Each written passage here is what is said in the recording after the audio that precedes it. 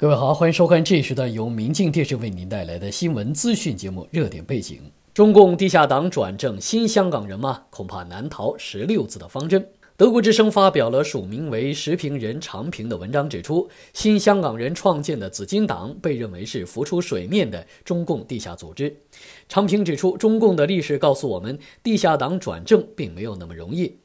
在国安法带来的香港政治严冬当中，新政党紫金党浮出水面，拟参选明年香港立法会的换届选举，更是号称将招募二十五万港人为党员，引发了舆论的关注。显然，它并非是傲然于霜雪的寒梅，而是霜雪本身的一部分。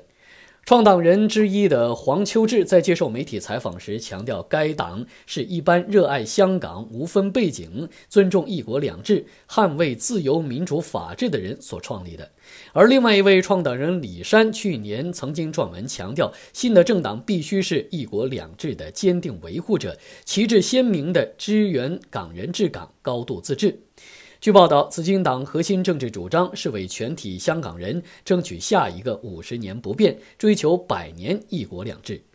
如果说一国两制如今在很多香港人的心目当中成为了恐怖故事，那么五十年不变就是一个诡异的咒语。那么人们真的希望它持续到五十年，甚至是一百年吗？不希望的话，可能就涉嫌危害国家安全了。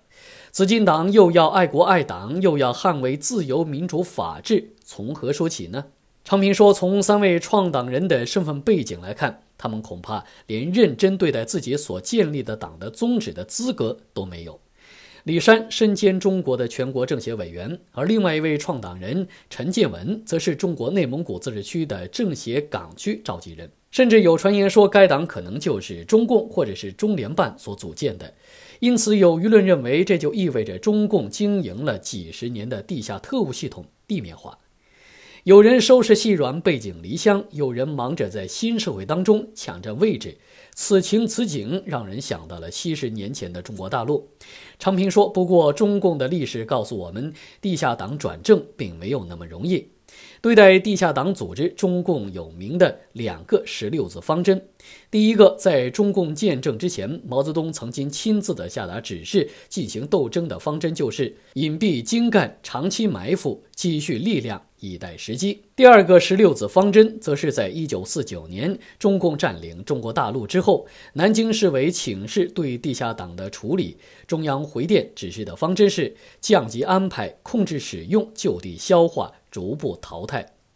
首先感受到被降级安排、控制使用的含义的，并非正在春风得意的紫金党，而是积蓄力量以待时机，帮助中央在香港实施港区国安法，如今却遭到北京换血威胁的传统建制派。李山借着选举失利，对建制派发起了批判，说：“从本质上来讲，这是一些建制派的政党长期脱离香港社会和民众，没有能够把广大香港市民对美好生活的向往作为本党的奋斗目标，没有能够实事求是地提出社会大多数人支援拥护的政策纲领，没有能够灵活机动地进行政治博弈所导致的必然的结果。”对了解中共党内斗争历史的人来说，脱离群众是一个耳熟能详的批判武器。正如有分析者指出，即使目前在香港势力最强大的建制派的政党民建联，在中共的眼中也是带有地方主义的色彩，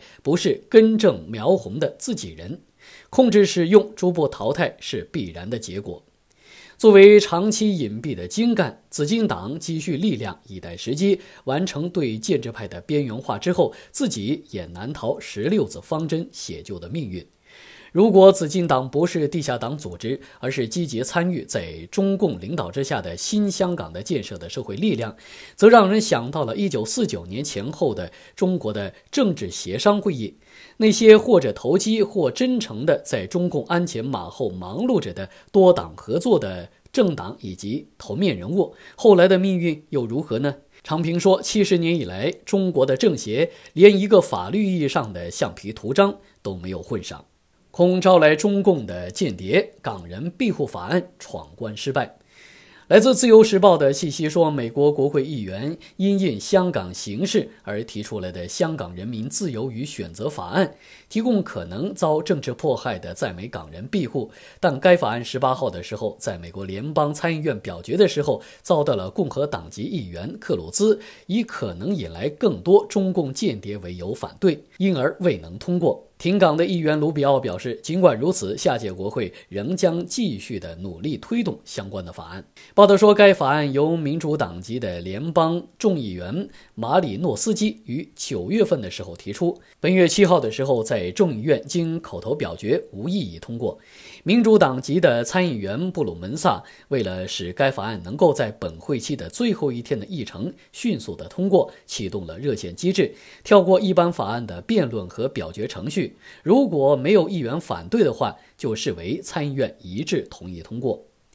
本届美国国会的任期将于明年的一月三号到期，下个星期就是圣诞节的假期。克鲁兹的一票反对，代表着该法案是将无法在本届国会通过。克鲁兹在参议院审议法案时指出，此法案大幅地降低了难民和庇护的标准，是为了达成民主党修改美国移民政策的长期目标，而非是为制定而制定，可能会招来中共趁机将更多的间谍送到美国。克鲁兹强调，他多次的公开支持香港的民主运动。不过，在美国现行的移民法之下，港人本来就有资格申请以难民的身份赴美。美国总统川普七月份的时候也特别增加了提供给港人的难民名额。美国需要制定的是实质的由两党协商因应中共的方案。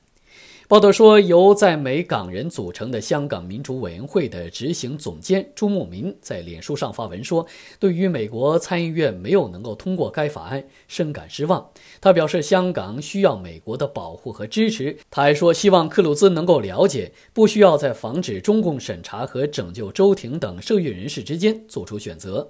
他说，会继续努力地争取美国下一届的国会和新的政府通过实施庇护港人的政策。香港人民自由与选择法法案提供已经持有签证在美，如果返回香港可能遭到政治迫害的港人临时庇护的身份，在签证到期之后可以继续的留在美国。另外，也要求美国政府加速处理为逃避政治迫害的港人赴美难民及庇护申请。此类申请人数不列入美国政府提供的难民额度，对象包括曾在香港民主抗争运动当中扮演重要角色的人士，如第一线的抗争者及急救员、记者、协助抗争者的法律工作者等。台湾提高了港人的移民门槛，大陆出生的难以入籍。来自自由亚洲电台的报道说，台湾经济部投审会三月份的时候就港人投资移民增加条件之后，审查逐渐的严格。有台湾的移民公司向该媒体表示，除了拥有实体店面和雇佣至少两名台湾员工以外，非香港出生、年纪大和低学历的港人目前很难获得台湾当局批准移民。台湾陆委会回应指，申请条件并没有发生改变，审查是为了杜绝假投资真移民的情形。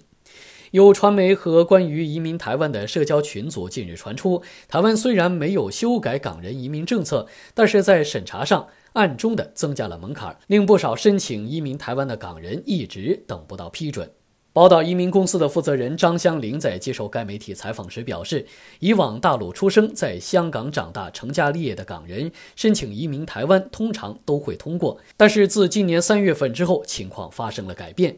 张香玲指，除了大陆出生以外，退休人士也列入了黑名单。张祥林说：“学历标准已经完全不同了，现在最低消费已经是大学毕业，以及要香港出生。”他说：“很坦白的讲，如果涉及到了大陆出生的，他们都不会批准。还有就是要年轻，基本上退休的人士是来不了的，除非他们用成年的子女来做申请。”台湾陆委会的副主任李丽珍在接受传媒查询时表示，她不承认提高投资移民门槛，她只看到很多的案例，在投资移民取得身份之后就撤资。目前的审查主要是为了杜绝所谓的假投资真移民的情况。李丽珍表示，对于专业人士申请移民，去年有五千多人，今年已经超过了七千四百多人被核准，所以并没有如传媒所说的，并非真正的协助港人。移民政策是以揽才为出发点。李丽珍说：“那至于协助港人的部分，目前，台湾已经成立了一个港澳交流版的服务办公室。宝岛移民公司的负责人张香玲认为，台湾当局虽然没有修改移民法令，但是对不想批准的申请案件，一直要求补交相关证明文件，让申请者知难而退。他指部分的客户不耐等候，转而选择了移民英国。张祥林说：“据他所知，有部分的客户因而拿着 BNO 去了英国，他们觉得英国没有门槛儿，拿着 BNO 自己买了机票，总之都会安顿好。他们觉得主动权在他们自己的手中，因为他们觉得移民台湾的主动权，他们完全没有话语权。”张祥林觉得这是他们最没有安全感的地方。报道说，根据台湾移民署的统计，2019年一共有一千四百七十四名港人获得了台湾的。定居许可，今年从一月到十一月份，人数则有一千三百九十七人。